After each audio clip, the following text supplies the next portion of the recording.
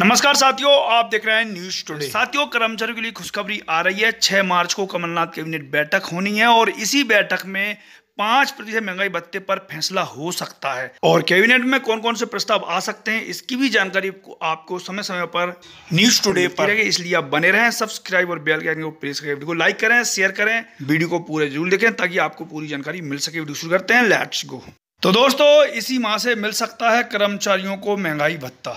दोस्तों, आज की बड़ी खबर है कि मध्य प्रदेश सरकार अपने 10 लाख से ज़्यादा अधिकारी, कर्मचारी व पेंशनर्स को महँगाई भत्ता देने जा रही है। दरअसल, अक्टूबर 2019 में केंद्र सरकार ने अपने कर्मचारियों को भत्ता 12 से बढ़ाकर 70 प्रतिशत किया था, जो 1 जुलाई से दे था।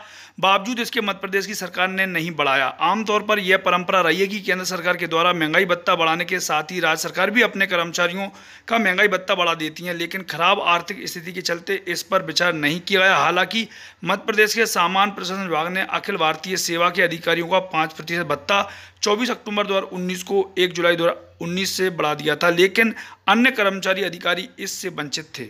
अब सरकार उन सभी अधिकारी कर्मचारी के साथ साथ पेंशनर शिक्षा कर्मियों पंचायत कर्मियों का भी इसका लाभ देने जा रही है। वित्त विभाग के अधिकारियों की माने तो इससे खजाने पर लगभग ढाई सौ करोड़ का प्रति माह का भार पड़ेगा। वित्त विभाग ने यह प्रस्ताव तैयार कर लिया और इस बात की पूरी उम्मीद है कि इसी माह या तो छह मार्च को होने वाली कैबिनेट या उसके बाद इस पर अंतिम निर्णय हो सकता